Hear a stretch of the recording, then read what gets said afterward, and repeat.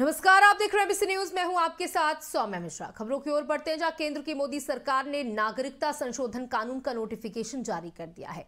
लोकसभा चुनाव से पहले केंद्र सरकार का ये बड़ा कदम है। इसके तहत अब तीन पड़ोसी देशों के अल्पसंख्यकों को भारत की नागरिकता मिल सकेगी। इसके लिए उन्हें केंद्र सरकार द्वारा तैयार किए गए ऑनलाइन पोर्टल पर आवेदन करना होगा। दरअसल 2019 के लोकसभा चुनाव से पहले बीजेपी ने सीएए को अपने घोषणा पत्र में शामिल किया था।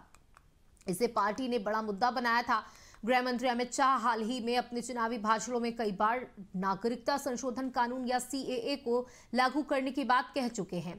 उन्होंने ऐलान किया था कि लोकसभा चुनाव से पहले इसे लागू कर दिया जाएगा। अब केंद्र सरकार ने इसके लिए नोटिफिकेशन जारी करते हुए इसे लागू कर दिया।